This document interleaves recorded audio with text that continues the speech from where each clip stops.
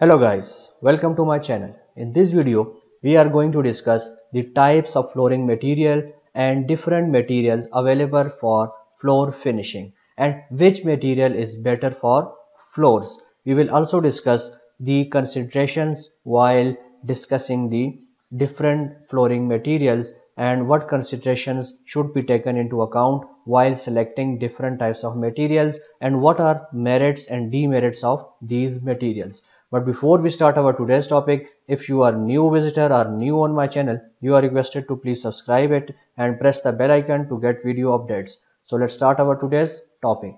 First of all one should understand the purpose of floor. The purpose of floor is to provide a level surface and to support live and dead loads. And the floor must satisfy the following requirements adequate strength and stability adequate fire resistance sound insulation damp resistance thermal insulation and these requirements must be satisfied by the floor. Or on the basis of these you will make decision which material is better for you. And now there are two types of floors mainly ground floor and upper floors. Flooring components include subfloor and floor coverings. In this video we are going to discuss floor coverings one by one. What is ground floor? Ground floor may rest directly above the ground or may be supported at a little distance above the ground. And floors supported directly above the ground are known as solid floors while the floors supported above the ground level are known as suspended floors.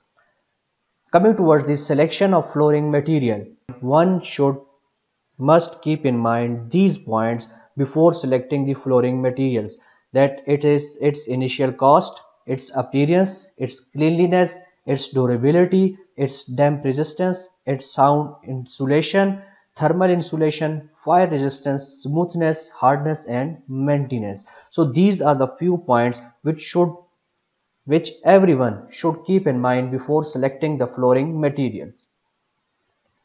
Now if we talk about the layer wise construction of floor or solid ground floor, lowest layer is made up of compacted earth fill.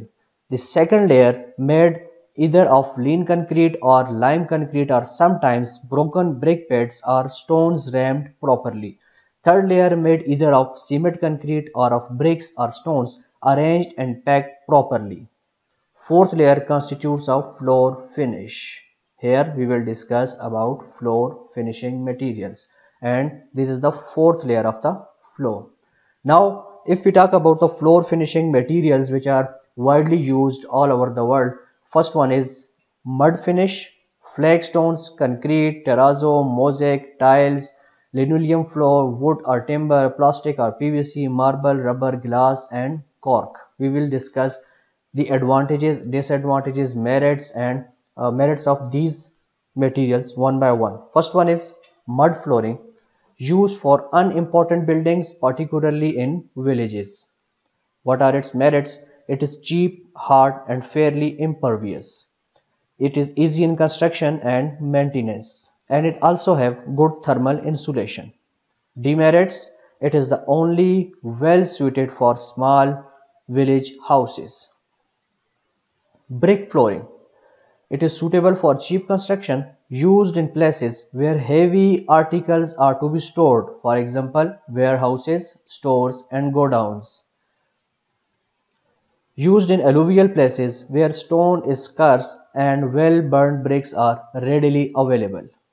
Coming towards merits, it's durable and hard, it is non-slippery and fire resistant, initial cost is less and it is easy in maintenance. It must have few demerits which is it is absorbent, it absorbs water or moisture. The third material is flagstone flooring. Stones with rough surfaces are used on the rough works like godown sheds, stores, etc. Stones with polished surfaces are used. What are its merits? It is hard, durable and wear resisting. It is easy in construction, repair and maintenance. Demerits appearance is unattractive and it is rough stones. Poor shock absorbing characteristics. Surface is uneven. Cement concrete flooring used for residential, commercial and industrial buildings. The floor consists of two components. The two components of the floor can be constructed either monolithically or non-monolithically. Base course first layer is base course and it may be 7.5 to 10 centimeter thick. It may be either in lean concrete having ratio 136 or 1510 or lime concrete containing 40% mortar or 1 ratio 2 lime and sand and 60% coarse aggregate. The topping. Topping is then laid in square or rectangular panels of size 1 by 1 or 2 by 2 or 1 by 2 meter. It consists of 1 ratio 2 ratio 4 cement concrete. Merits of cement concrete flooring. It, it is resistant to dampness. It possesses high durability. It provides a smooth, hard and even surface, can be easily cleaned and, is, and it is economical. Fire resistant. Demerits, defects once developed cannot be easily rectified. Does not provide sound and heat insulation. Terrazzo flooring. It is laid in thin layer over concrete topping. Very decorative and has good wearing properties used in residential buildings, hospitals, offices, schools and other public buildings. It is expensive. Mosaic flooring made of small pieces of broken tiles of china, glazed cement marble arranged in different patterns. Tiles used are available in variety of patterns and colors. Commonly used in operation theaters, masjids, bathrooms and superior type of buildings floors. Tiled flooring constructed from a square or any other shape made of clay, cement or terrazzo. Available in different sizes and thickness used in residential houses, offices, schools and other public buildings. An alternative to terrazzo flooring. Merits non-absorbent, decorative and durable. Quick laying of floors easily repaired. Demerits initial maintenance cost is high on becoming wet provides a slippery surface. Marble flooring, superior type of flooring used in residential buildings, masjid, hospitals, etc. where cleanliness is required. Marble slabs may be square or rectangular. Timber flooring, it is costly, used for carpentry halls, dancing halls, auditorium halls, etc. Common in hilly areas where timber is cheap and available. Entire area below the floor is covered with an impervious material, cement, concrete or asphalt to pre prevent dampness. Elastic in nature, resistant to wear and tear. Rubber flooring consists of sheets or tiles of rubber in a variety of patterns and colors with thickness varying from 3 to 10 millimeter. Sheet or tile is manufactured by mixing pure rubber with fillers such as cotton fiber, granulated cork or asbestos fiber. Sheet tiles are fixed to concrete base by appropriate adhesives. Resilient and noise proof. They are costly. Used in office or public buildings. Linoleum flooring. A covering available in rolls which is spread directly on concrete or wooden flooring. Linoleum sheets may be plain or printed. It may be 2 to 6 mm thick and 2 to 4 meter wide. Linoleum tiles are also available. Linoleum coverings are attractive, resilient, durable, cheap and can be cleaned easily. It rots when it gets wet. Hence, it cannot be used for bathrooms and kitchens. Cork flooring. Cork is the outer bark of cork oak tree.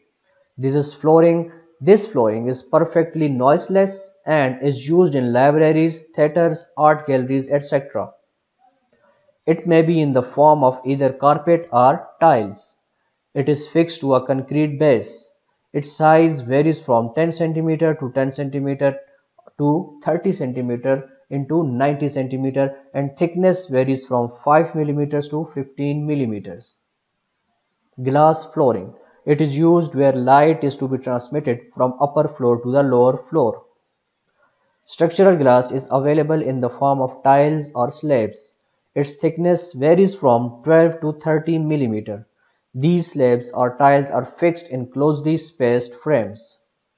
It is very costly and therefore not commonly used. Plastic or PVC flooring. It is made of plastic material fabricated in the form of tiles of different sizes and color shades. Widely used in all types of buildings. The tiles are laid on concrete base. The floor is washed with warm soap water before use. It is resilient, smooth, good looking and can be cleaned easily. It is costly and slippery and is damaged when comes in contact with burning objects. That's all for today. In the end, you are again requested if you are new to my channel, you are requested to please subscribe it and don't forget to press the bell icon to get video updates.